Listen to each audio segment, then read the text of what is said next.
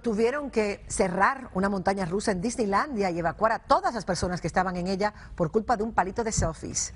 De acuerdo a una portavoz del parque, un usuario que estaba subido en la montaña rusa sacó su palito para tomarse una foto y en cuanto los empleados abajo lo vieron, apagaron el juego mecánico durante una hora. Así que pagaron justos por pecadores. Los demás pasajeros también estuvieron ahí una hora esperando. Resulta que Disney prohibió los palos de selfies en todas sus atracciones el año pasado por razones de seguridad.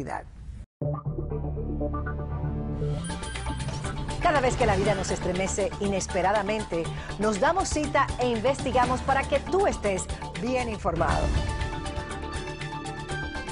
En Arrojo Vivo estamos conectados con nuestra comunidad, con sus necesidades y sus urgencias.